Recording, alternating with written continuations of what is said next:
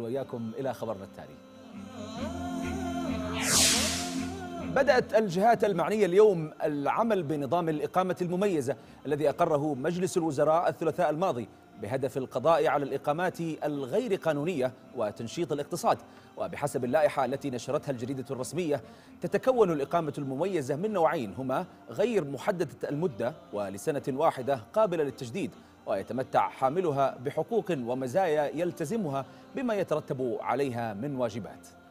ويتمكن المستفيد من الإقامة في المملكة مع أسرته ممن يعولهم المستفيد من الأزواج والأولاد ممن لم يتجاوز 21 سنة والحصول على تأشيرات زيارة للأقارب واستخدام العمالة المنزلية بحسب احتياجاته وامتلاك العقارات للأغراض السكنية والتجارية والصناعية وذلك فيما عدا مدينتي مكة المكرمة والمدينة المنورة والمناطق الحدودية.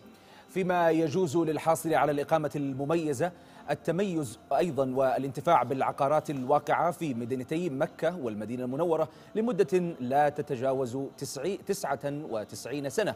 وتضع وزارتي العدل والتجارة والاستثمار الآليات اللازمة لذلك بما يكفل للمنتفع الحصول على الصك بالانتفاع وهو صك صادر كذلك من كتابة العدل على أن يكون هذا الحق قابلا للتصرف بالانتقالة إلى الغير ووفقا للضوابط التي التي تضعها اللجنة. كما يحق له امتلاك وسائل النقل الخاصة وأي منقولات أخرى يسمح بانتقائها النظام في المملكة.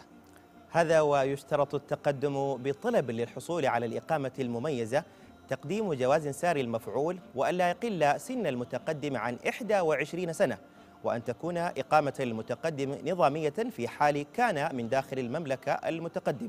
ويجب على المتقدم خلال 30 يوما من إبلاغه بصدور الموافقة القيام بسداد المقابل المالي الذي تحدده اللائحة وتقديم وثيقة تأمين طبي وفقا لنظام الضمان الصحي التعاوني.